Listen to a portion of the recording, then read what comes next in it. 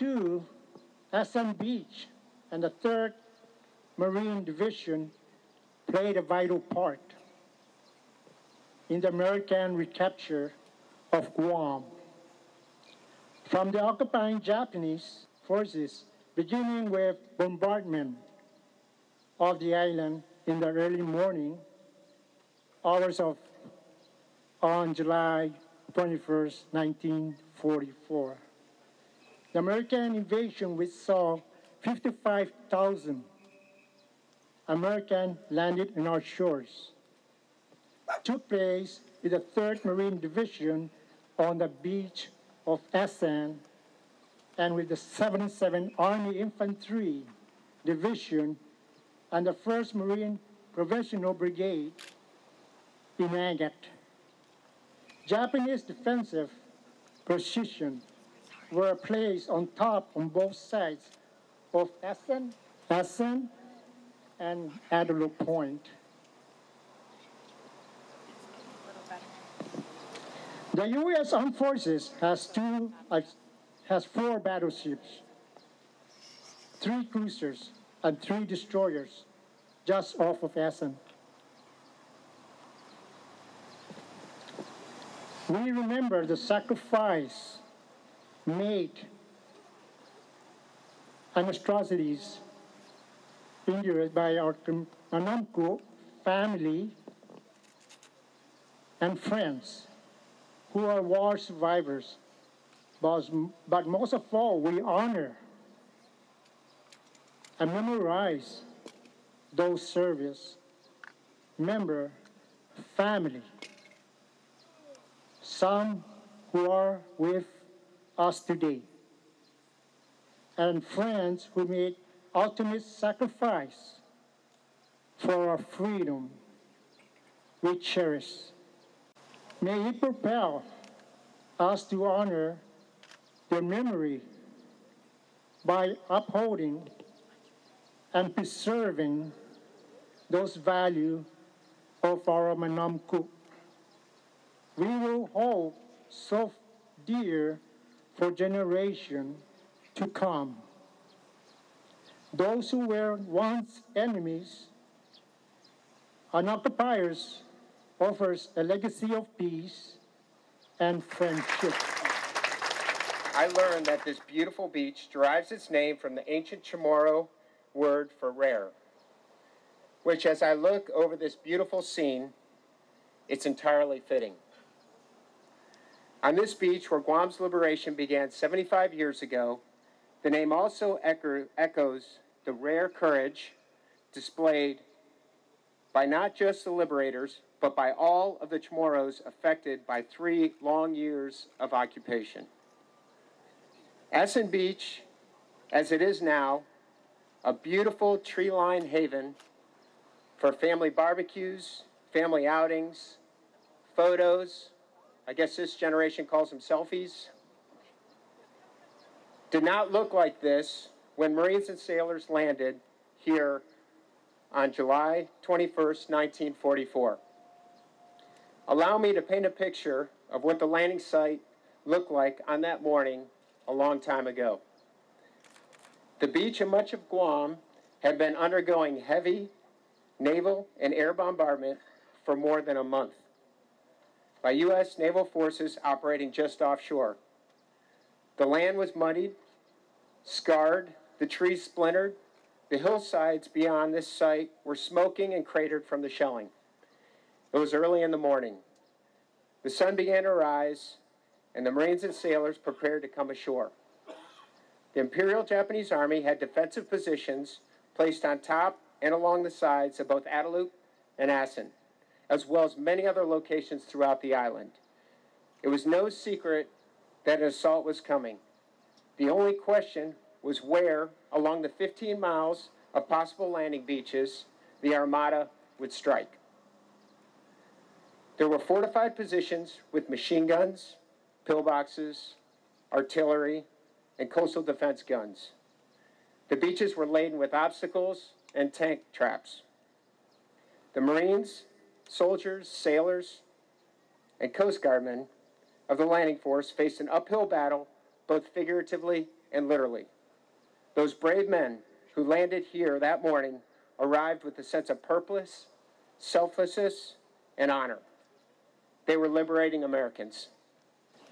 As the force loaded onto the landing craft and the amphibious vehicles, the voice of Major General Roy S. Geiger, Commanding General of the 3rd Amphibious Corps, could be heard over the bulkhead speakers in the ship. He said, You have been honored. The eyes of the nation watch you as you go into battle to liberate this former American bastion from the enemy. The honor which has been bestowed to you is a solemn one. May the glorious traditions of Marine Corps esprit de corps spur you on to victory. You have been honored. The Chamorro people were the first casualties of the war here on Guam. For three years, they suffered forced labor, marches across the island, internment camps, and many other atrocities. We also honor the service, sacrifice, and actions of many military personnel who came ashore on those beaches as liberators. They were mostly young men, many still in their teens or early 20s, who came from all corners of the country. Many not yet indoctrinated into the realities of war. In the 21 days of military campaign here on Guam, more than 1,700 gave the ultimate sacrifice for Guam's freedom, while another 6,000 were wounded in action. When we reflect on character, we pay homage to the courage, fortitude, sacrifice, and honor of both the Chamorro people and their liberators, whom they had never met. These are the traits that were shown throughout the occupation of Guam and during the ensuing battle for liberation. In the first two days of fighting, after landing on the beaches of Asan, two Marines were awarded the Medal of Honor for conspicuous gallantry at the risk of life above and beyond the call of duty. Private First Class Luther Skaggs Jr. was awarded the medal for fighting that took place on the night of the 21st of July. And Private First Class Leonard Foster Mason was awarded the medal for clearing an enemy machine gun position on the 22nd of July.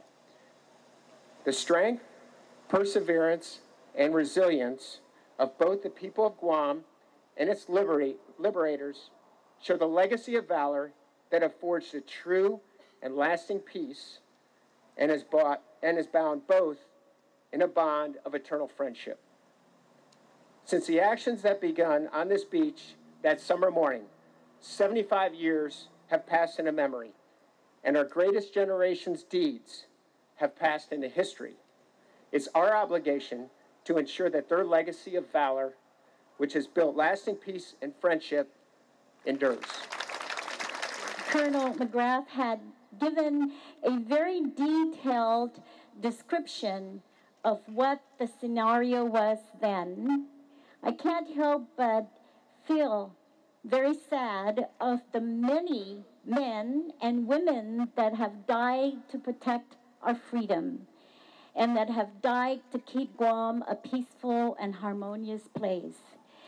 I also pause a little to try and understand the life that our Chamorro people had during those three years.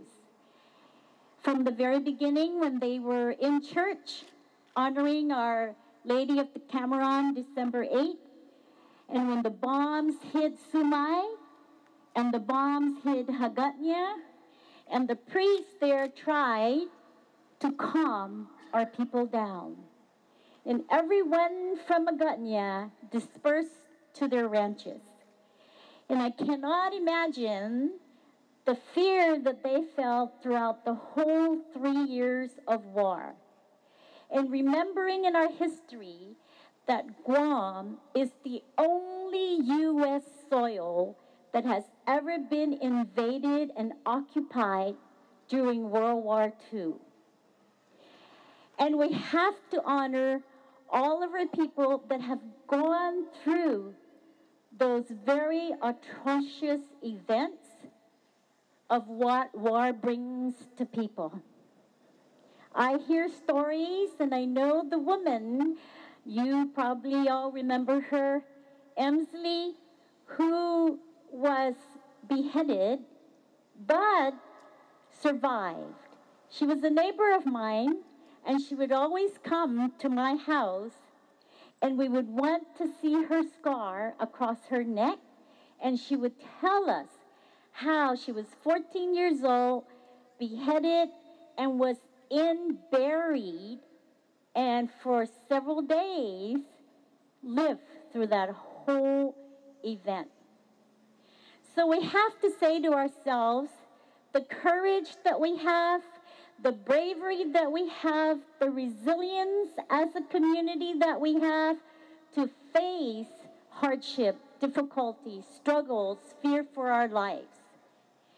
And we have to then imagine how we felt or how our survivors felt when the military came to Guam.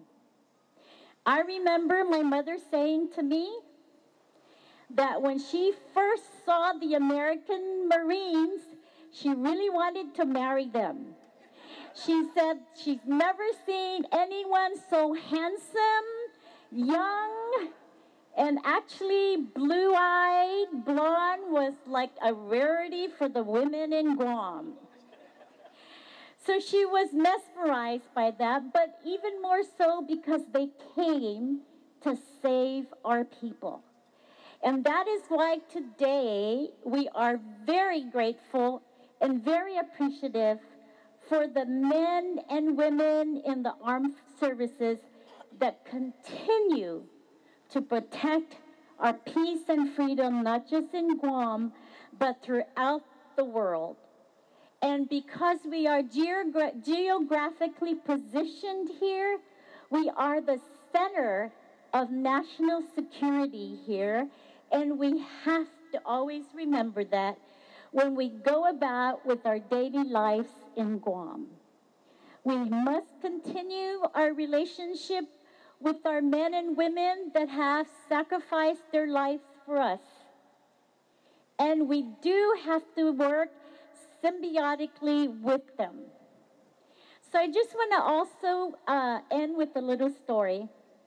My mother told me that when she was at their ranch and the Japanese would come to their ranch, they would hide the women because they would bring the women and bring them fear of rape and also bring uh, fear of being uh, taken to be concubines.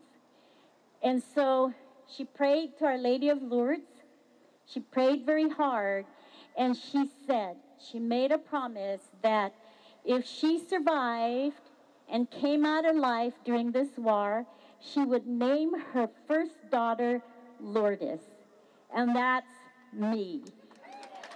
So, as governor of Guam and on behalf of the people of Guam, we are very appreciative, we are very grateful, we are a people of peace and generosity, and let's continue on with that kind of character.